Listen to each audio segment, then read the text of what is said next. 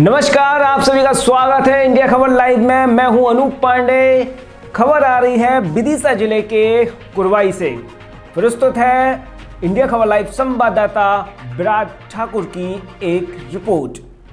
मध्य प्रदेश सरकार द्वारा महिलाओं के लिए अलग से शराब दुकानें खोलने तथा राशन की दुकानों पर अंडा मांस विक्रय करने का फैसला किया गया है।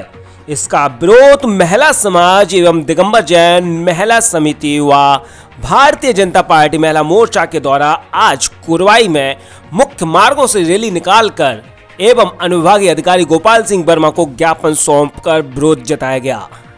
महिलाओं ने रैली निकालकर मुख्यमंत्री कमलनाथ को यह चेतावनी दी है कि देश या प्रदेश में महिलाएँ मदिरा का सेवन नहीं करती हैं और वर्तमान सरकार इस प्रकार की दुकानें अलग से खुलवाकर देश की सभ्यता के साथ खिलवाड़ कर रही है, जबकि कमलनाथ सरकार बढ़ावा दे रही है, जो कि गलत है। यह कदम आने वाली पीढ़ी के लिए गलत परिणामदायक होगा। शहर की महिलाओं ने इसका घोर विरोध किया।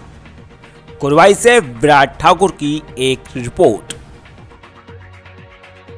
कमलनाथ सरकार ने जो महिलाओं के लिए जो शराब की दुकानें खुलवाई हैं। वो बहुत ही निंदनीय है। हम महिलाएँ हम सब महिलाएँ इस चीज़ का विरोध कर रहे हैं। और आज इसी संबंध में हमने एसडीएम साहब को ज्ञापन सौंपा। केरला सरकार द्वारा शराब की दुकानें महिलाओं के लिए अलग से खोलने के लिए जो निर्णय लिया गया है? यदि ये इसको अमली अमली जामा पहनाते हैं तो हम सब महिलाएँ आज यह घोषणा करते हैं महिला दिवस के दिन कि हम इसके लिए उग्र आंदोलन करेंगे, सड़कों पर आएँगे, लेकिन इस कानून को कभी भी लागू नहीं होने देंगे।